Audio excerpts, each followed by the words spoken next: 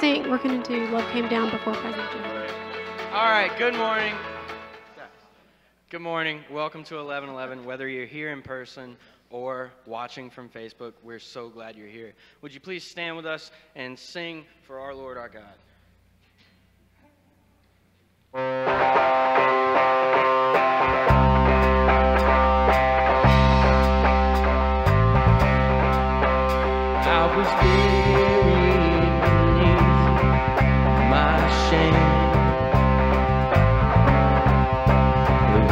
Who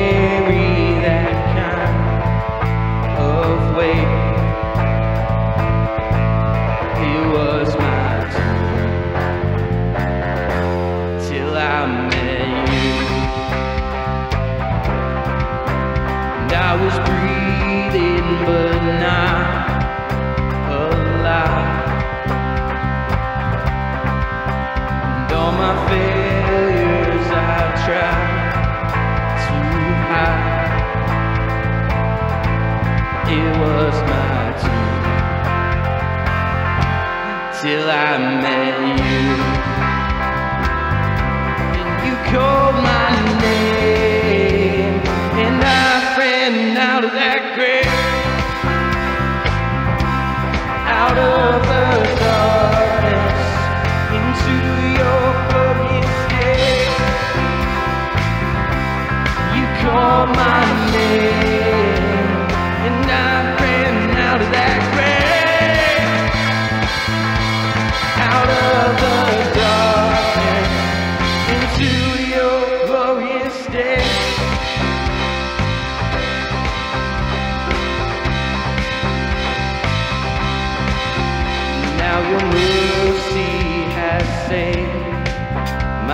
my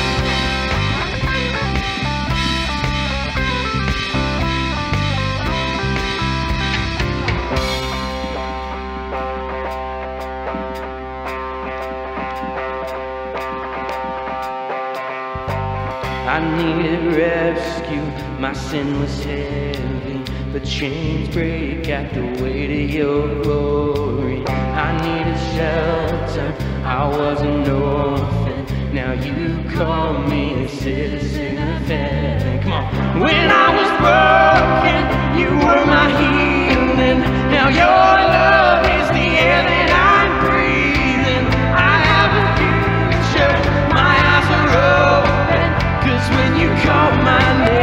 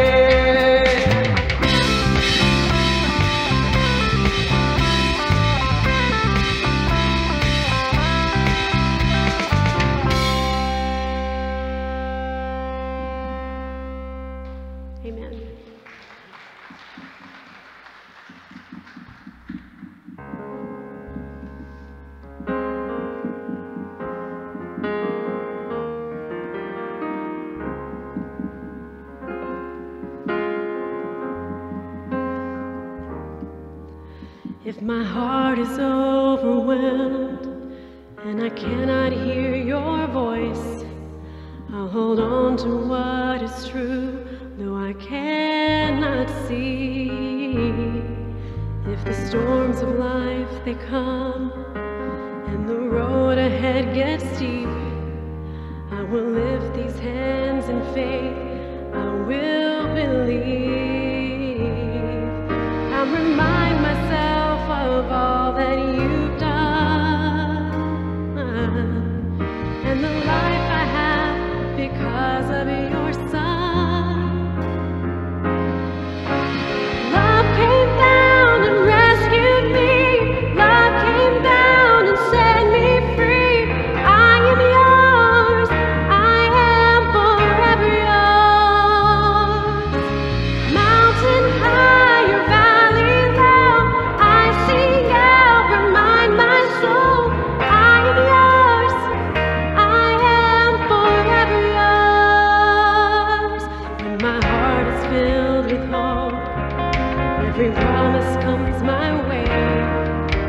I feel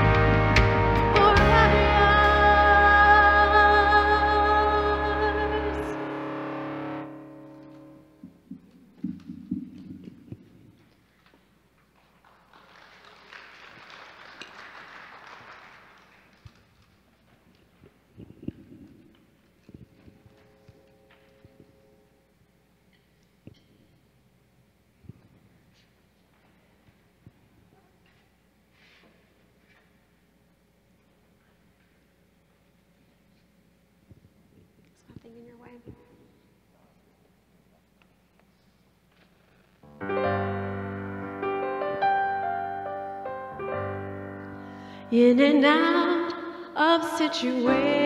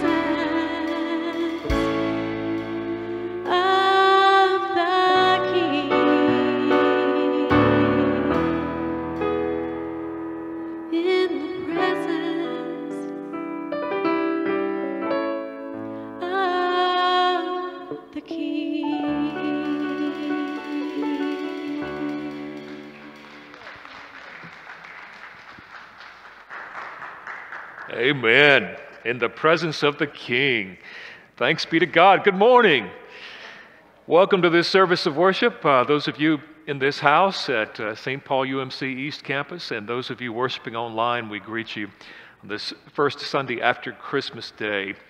Uh, often called Low Sunday by, uh, by many people because you generally have a little lighter crowd on this day when there seems people start to experience a little bit of Christmas letdown after after the you know the big build up for Christmas Day, and uh, and after that, but also an opportunity, I think, in my experience, to just experience a, a kind of uh, kind of pure form of worship as we gather uh, gather either uh, in person or online. Welcome, welcome this day. We want to hear from you, uh, your prayer needs, other things going on in your life. If you're a guest, uh, we'd love to hear, hear about you and from you. And if you'll take advantage of our Connect cards online, stpaulos.org org slash connect. That's a good way to do that. Uh, we also uh, invite you to uh, to a time of offering and giving, and you may do that by give.stpaulos.org or through the mail, St. Paul UMC, P.O. Box 909. Uh, in this, this moment of, uh, of offering and the way we, we do that now, I would remind you in the house also there's a basket near the door if you'd like to leave an offering on your way out. We give God the thanks. It is always a good and right and joyful thing to give, give Him so. Let us pray together this morning. Loving God, we, your people, praise you in our hearts and would with our lives and our whole being. Giving thanks that you are the author and giver of all life and grace, we look to you as Lord, praying that you would break anew the bread of life for us in Jesus' name. In these moments, as we yield ourselves to you, giving thanks for, for pulling us through this year, and as we anticipate a new one together, we know and give thanks that most of all we are your children, that nothing can separate us from your great love in Jesus Christ. So we pray that we may take hold of that life that you are always extending to us, that we may live and abide in the light of your truth and love, extending that to others, and I'm always mindful of ways you are leading us forward. Our hearts go out to those who are still struggling with illness and unknowns in their lives, whether the coronavirus or from other things, and those who are experiencing hardships and difficulties in this, what is we tout as the most joyous of seasons. Be with them and strengthen and relieve them from their troubles. Be with all who are working for good in the world on the front lines and the behind lines. And we give you the thanks and the praise this day. In Jesus' name, amen. Well, today we look at a scripture from Luke's gospel that uh, is is very appropriate for this season. It, it's a follow up. As you know, Jesus has been born, and then his uh, parents take him to the temple uh, to have him, him blessed.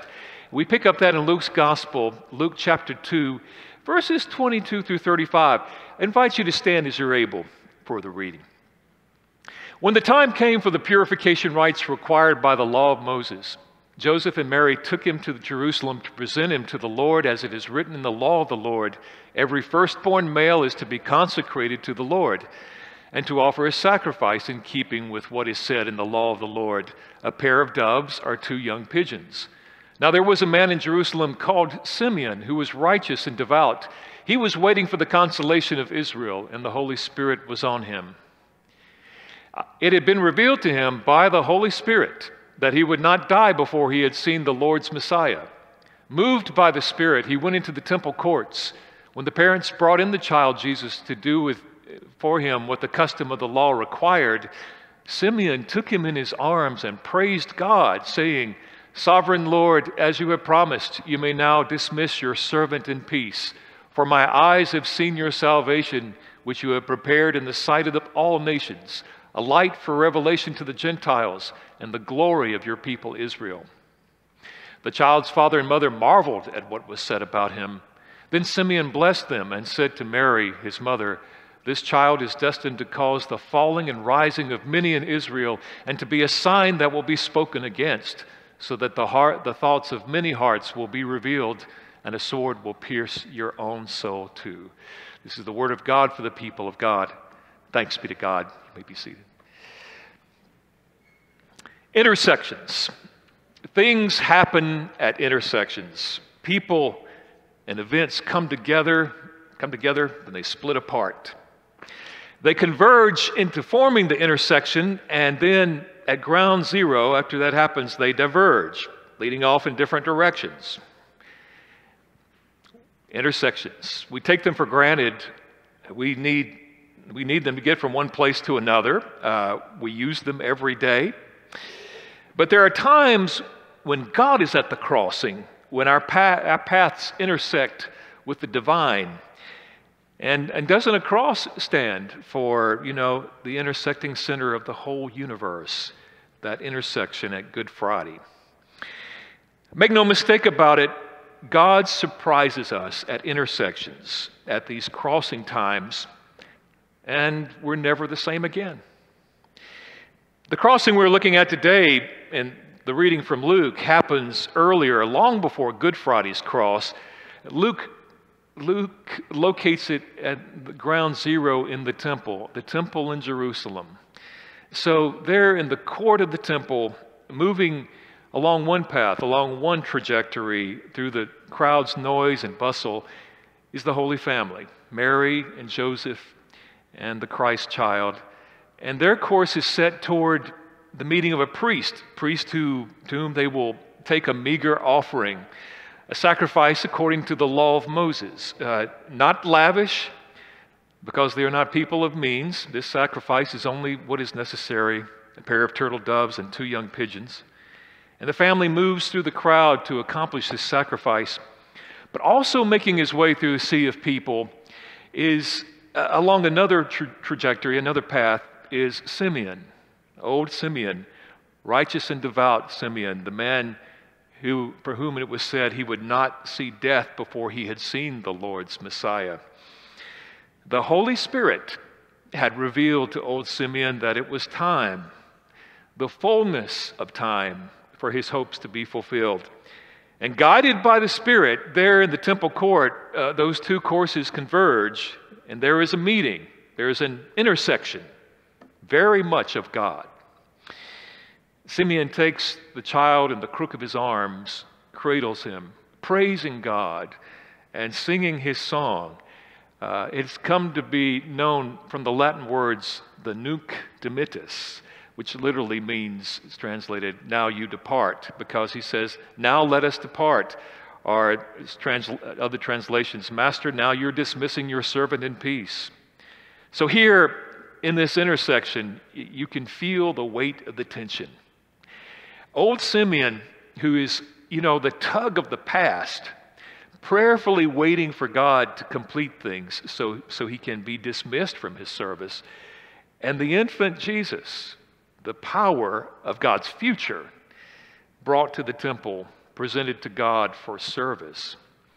But to all bystanders, just a powerless child. All right.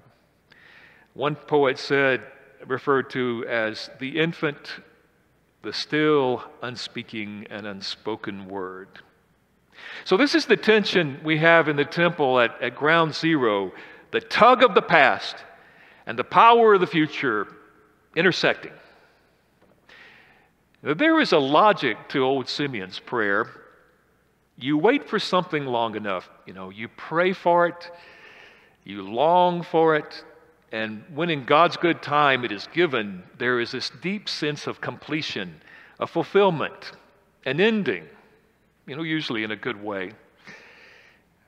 Some of us here have waited like Simeon. You know, we have waited for work that is more than just a job, waiting and praying uh, for that fitting place to use our gifts, our real vocation, our real calling from God. And we want to look at this more deeply early into the year uh, as a church as well.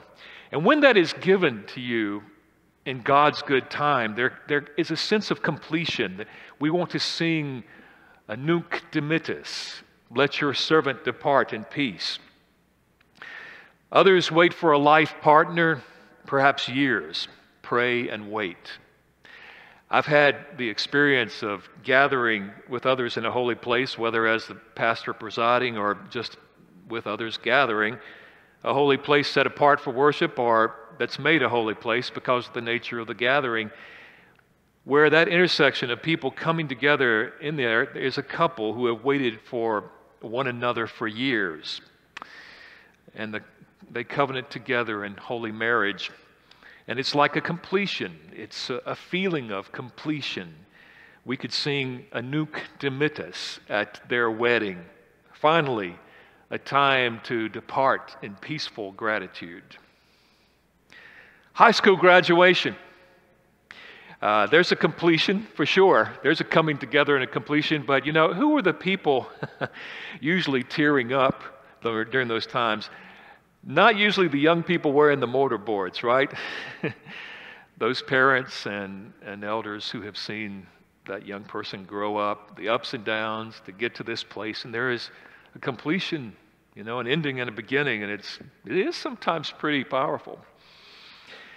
And certainly the end of this calendar year for this congregation, no less than you would say for the rest of people throughout the world, we have been waiting, you know, praying for renewal of life. Amen. It's been an enforced kind of waiting, true enough, waiting for when our, our lives, our social lives, and our work lives, and our family lives can resume with the kind of freedom that we may have taken for granted, you know, before. With a kind of robustness. You can go up and shake a person's hand and not even worry about it. When you can resume that without threatening lives. Uh, that time will come again. Uh, Lee Bond assures me.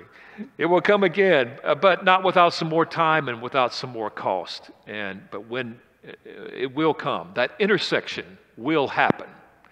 Will things be exactly the way, the way we were before? Uh, I think uh, that's, that's exciting and a little scary to think about. Maybe not exactly the same all the way around, because that's the way it happens. Regardless, I bet most of you want to say along with me Simeon's Nunc Dimittis. Let us depart in peace. Let this year depart in peace. if, if I can't depart in peace, please let it depart. Uh, so we also feel it. We also, the tug of the past, the sense of things, you know, coming together to being completed, a sense of ending. Uh, and we can join Simeon in his song. Notice again that Simeon is cradling, cradling in his arms, you know, none other than the Christ child he, as he sings. And I love that image of him holding the baby in his arms, singing uh, in praise joyfully. I love that image. Uh, I'm a singer. That's one gift that God has blessed me with. And so I've enjoyed for years when baptizing an infant uh, to sing a lullaby song, carrying the baby down the aisle, showing the baby off to, to you or the congregation. And the lullaby song is usually calls the baby by name Ashley, Ashley, God claims you, God helps you, protects you, and loves you too. And one of the verses that we sing, We this day do all agree, a child of God you'll always be. Another one uh, says, We are here to say this day that we will help you on your way. Ashley, Ashley, God claims you, God helps you, protects you, and loves you too. I pulled the name Ashley not just out of the hat, but uh, I actually baptized an Ashley back in the church in Bay St. Louis years ago. But she was not an infant; she was a very, a very lovely young woman. And uh, there was a there was a funny moment when her mother came up to me afterwards and said, "Well, you didn't you didn't carry Ashley in your arms and sing to her," and uh, which was funny because, you know, that might cause a little stir even in Bay St. Louis. Uh, but uh, the point is that it applies to us regardless of age. God claims you, God helps you, protects you, and loves you too. And here is, here is Simeon uh, holding the promise of God now in flesh appearing, the power of God's future. At this intersection, there is also birth, something new.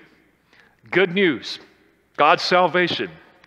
There is a tension here. God, uh, Simeon, Simeon holding the Lord's Messiah. Completion when things come together, yes. And now the word spoken has been spoken in the virgin's ear, and Christ is born, and hope is born, and there's enough light for all of the world. See the intersection, the tug of the past, the power of God's future here in our midst. For us, you know, our calendar year is now coming to an end. But in the midst of, in the mere midst are all the, the new people in Christ uh, that have come into our lives, in our church, in our lives. I invite you to think back through the year of those intersections. On an everyday level, you know, God brings certain people into our lives, sometimes for years, sometimes only briefly or for a certain season, but our lives intersect. There's something holy there. And we recognize that here is the power of God in Christ as well, in those intersections where God has worked or spoken. We've experienced forgiveness, the gift of the Spirit, new birth. We have seen those welcomed into Christ's church. And uh, somehow through it all, we, we have been sharing in his death and resurrection, even through all this that we have been living through. And in these things, haven't our eyes, haven't our eyes seen the salvation of the Lord's Messiah? Um, Jesus has come to give us second birth, a gift freely given to us all. Now, the world has a version of this a version of completion and new beginnings. It is counterfeit, but for a lot of people, it is a source of hope, of their hope. Uh, some of you, you may remember, be old enough to remember the pub- Publishers Clearinghouse sweepstakes. it's like a lot of things, it's been adapted over the years with uh, new, you know, newer technology and the way the world has changed. It's done mainly online now, and I think winners are, announced on NBC. But in the old days, you would receive through the mail a special letter uh, with your name on it to enter into this drawing for the Publishers Clearinghouse it would, uh, sweepstakes. It would be advertised on network TV and everything for a drawing of the grand prize. Now, of course, the odds of winning it were like 1 and 1.7 billion, but you know, my parents would take their envelope and they would, you know, religiously prepare it and send it back. I mean, they were smart people, they knew what the odds were, but it was just something fun to do. Later, I got my own envelope with my name on it, and I did the same thing. Uh, that letter addressed to you supplied its own, your own distinctive press release. That is, you wouldn't have to even think of the words to say if you have, happen to be that one in 1.7 billion. It was already written for you if you won. Uh, that $10 million next month that you were going to receive, you wouldn't be at a loss for words. I don't know if other lotteries or drawings do this, but they, they did. They even supplied the words to put in your mouth. You, you said that you were stunned. You said that this was a, a dream of a lifetime. All served up for you, for you in this press release for that big day. You know, about the only thing you needed to add maybe was the Nunc Dimittis.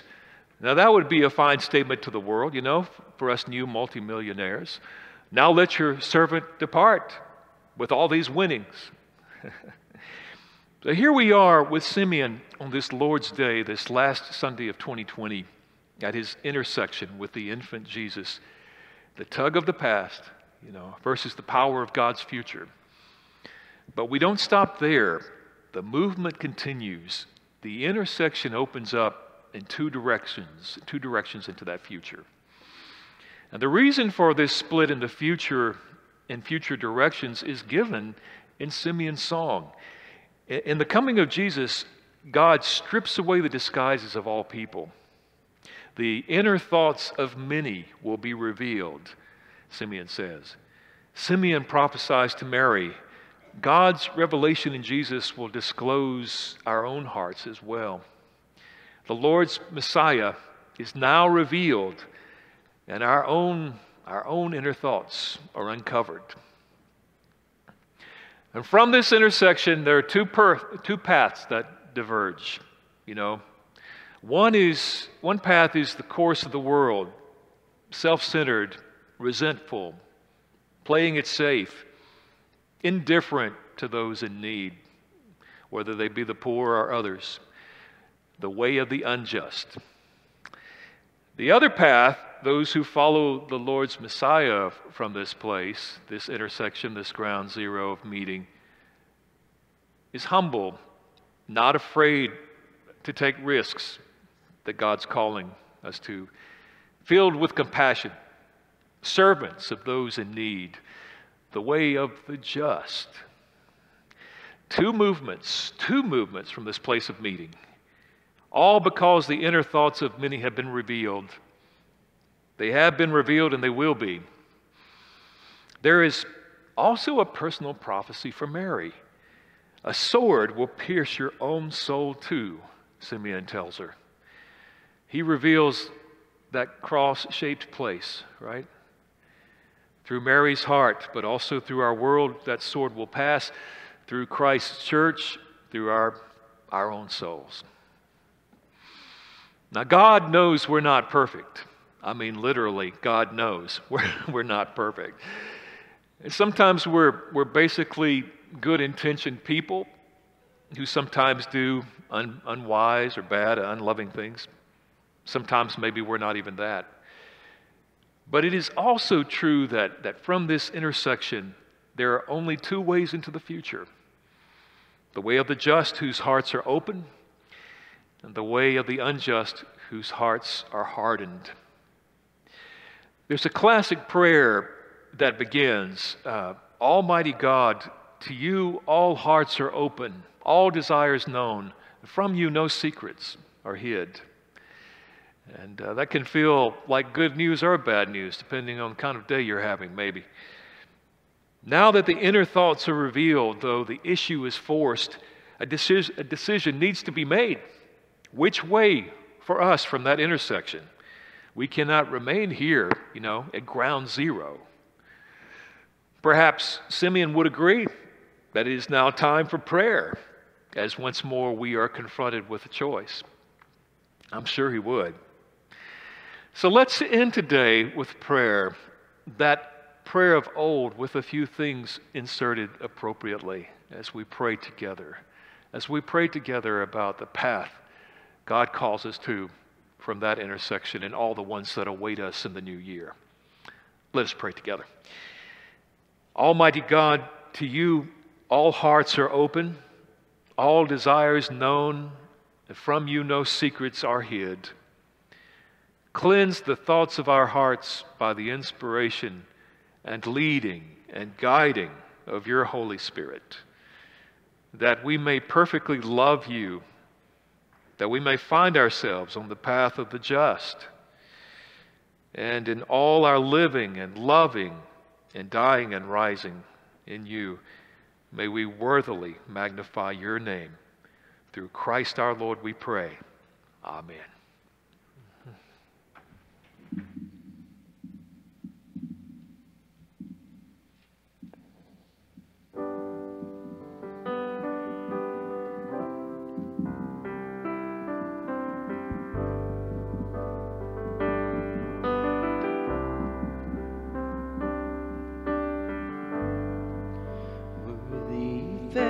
Song we could ever sing.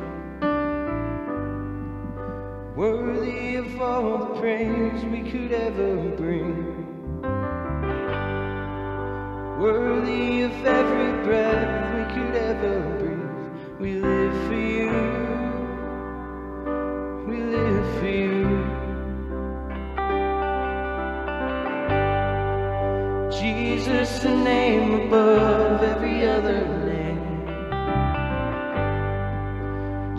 Jesus, the only one that could ever save. Worthy of every breath we could ever breathe. We live for you. We live for you. And holy, there is no one like you. There is none